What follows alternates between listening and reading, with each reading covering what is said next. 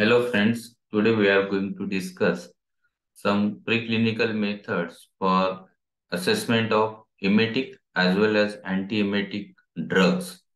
So in this case, so under this heading, we have the first model that is assessment of emetic and antiemetic activity in dog or this model is also known as apomorphine induced emesis in dog. So in this case, the dog is used as a model because very few animals shows the emetic activity. So particularly beagle dog is used for this purpose. If you see how emesis takes place, so uh, mainly the area in the brain which is responsible for the vomiting is the vomiting center as shown here in the figure. And this area is located in the lateral reticular formation of the medulla. And if you observe, this uh, area is uh, assessed with uh, various part of the body. So vomiting center received the input from many areas like chemoreceptor trigger zone, vestibular apparatus, then tractus solitarius and the GI tract. So all these reflexes were received from the vomiting center and as a result vomiting will takes place. Now this process involves various receptors and this includes uh, in chemoreceptor trigger zone you observe the 5-HT3 receptors are there then D2 receptor is there. On vagal afferents you observe the 5-HT3 receptors and in the vomiting center you can observe the muscarinic receptor, the H1 receptor, 5-HT3 receptor. So, stimulation of these receptors may send the uh, reflux uh, sense uh, reflux message to the vomiting center and as a result vomiting takes place. Many drugs producing the emetics like apomorphine, xylazine, ipecacutate and many drugs, they are used as antiemetics like anticholinergic, antihistaminic, neuroleptic, prokinetics, 5-HT antagonists. So in this case, we are going to use the apomorphine hydrochloride. This is the structure of apomorphine hydrochloride. And this drugs was first synthesized in 1845 and was first used in Parkinson diseases. This is a non-ergoline dopamine D2 agonist. This apomorphine has been investigated as an emetic, as a sedative, and the treatment of alcoholism and the treatment of other movement disorders. So if you see what is the procedure for this uh, antiemetic activity. So in this case, we use a beagle dog it is a specific type of the dog which shows the vomiting activity, prone to vomiting activity.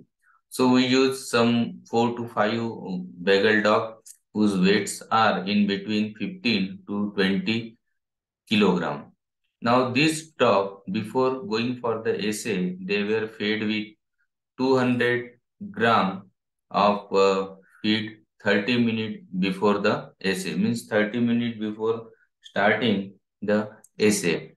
Then after the dog were treated or injected intramuscularly with apomorphine hydrochloride and the threshold emetic dose has to be find out. And for this purpose, what uh, what should be uh, carried out after every five days interval, one has to inject the dose of apomorphine hydrochloride in gradual increasing order. So uh, initial dose when you are started with the apomorphine hydrochloride, then initially what we have to do, first you give 200 gram of uh, feed and then you inject the apomorphine hydrochloride 0.07 millimole per kilogram, that is 22 milligram per kilogram body weight intramuscularly. Then again after five days, repeat the same process. Again after five days, repeat the same process. But after every dose, you have to increase the amount of dose but initial starting dose should be the 0.07 millimole. And this apomorphine has to be injected into the contralateral gluteus muscle in the uh, rat. So in this case, this is what the gluteus muscle, in this gluteus muscle, the apomorphine injection has to be given. So by performing this experiment, one has to find out the threshold emetic dose. So what is the threshold emetic dose? So threshold emetic dose is nothing but the concentration of the drug which showing the emetic episode. It's called as the threshold uh, emetic dose. Then after the established threshold emetic dose for test compound, suppose we have to screen a compound having emetic activity. So we has to administer the unknown compound performing the similar dosing schedule and then find out the threshold dose for the unknown compound which produces emetic activity and that will be compared to the standard apomorphine. So overall in this uh, test, four to six animals, these are sufficient to establish the emetic efficacy and potency of the test compound. So this up to this, the process, the model is used to find out the emetic activity of an unknown compound. Suppose we want to compare or find out the anti-emetic activity of unknown compound. In that case, we have to find out the anti-emetic assay. The dog with the threshold apomorphine dose, they receive various concentration of potent anti-emetic drug at given time interval prior to the apomorphine. So again, just come to this part here. Uh, as this schedule is developed, so whatever the threshold dose is there, which was find out, so every time one has to give the threshold dose and before administration of the apomorphine threshold dose, administered the antiemetic drug. But in this case, the concentration of antiemetic drug should be increases continuously.